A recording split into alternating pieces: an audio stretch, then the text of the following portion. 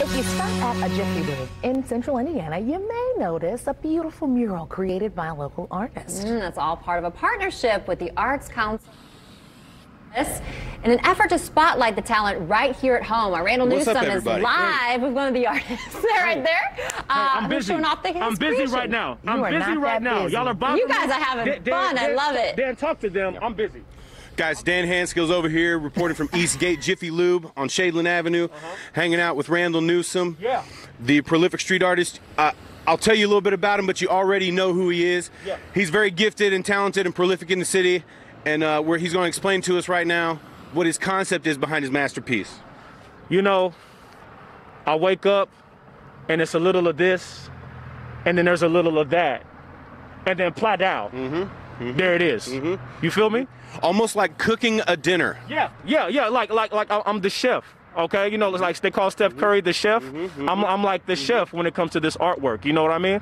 Guys, take my word for it. The chef is cooking up something, and it smells delicious. Oh yeah, oh yeah. Hey, hey, I just want to thank you, man, for for interviewing me while I'm doing this thing. And, you know, for for the folks out there, you know, all Indiana, the people in the studio, they don't know that I'm just I'm just multi-talented like that, you know. And I just I just I just I, I see it, and I go get it. That's what I do. You know. I saw you attack this wall, and I said we have to stop and we have to cover this because it just doesn't happen every day. This is all Indiana. Yeah, yeah, yeah. Um, it, it's a project that's been going on for five years. This mural project, and all kind of artists get highlighted. I'm just glad to be one of them. You know, I'm just glad to be one of the guys that get to showcase.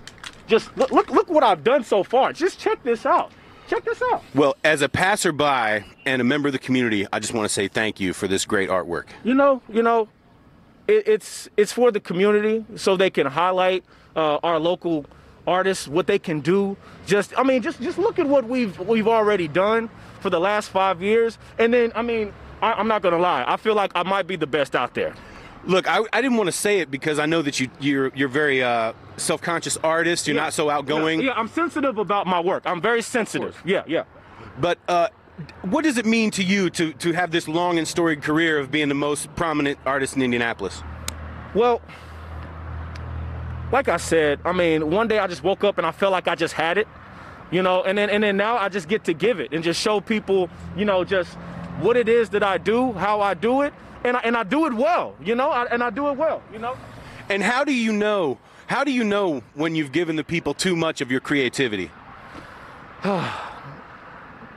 In the words of Luther Vandross, never too much, never too much. You know, they, they can never get enough of, of what I'm dishing out right now, okay? You know, they can never get enough. And, and you know, guys like you, hand skills, you know, you're the reason that, that people can see just how good I am.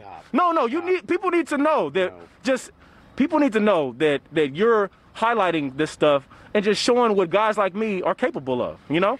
Well, your work is so inspiring and so unique and so captivating and so refreshing to me as a citizen of this city who's seeing your work not for the first time, but almost on a daily basis because you're so prolific. Yeah. I just want to know uh, if you understand how inspiring you are to people like me. I may actually try to do this just by looking at you. just wow that's i'm a i'm gonna try to hold back the emotions right now hand skills but that that touched me. The fact that i can inspire a young artist potential artist i'm just guys i don't i don't know how to describe just what i'm feeling right now. I don't i don't really know. Hand, hand skills i'm glad that i could inspire you you know and, and show you what real art is supposed to be you know I just hope that one day I can create a piece of art that's that's that's only half or maybe a third as cool as, as the work you do all the time. You know, you know, with enough hard work and determination, you know, and drive, you can do it. I don't know. I think he's got a future as a reporter, Randall. You better it. watch your back. Uh, you know, I will say He's today, pretty good. Today He's must pretty be mix it up day because I'm pretty sure we got some questions. Hey, thank you guys so much. That's beautiful Are we work. still live? Oh yeah.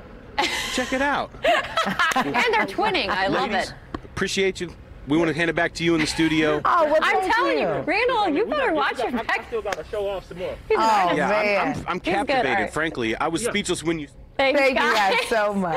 Oh man, what a trip. Well, hey, not.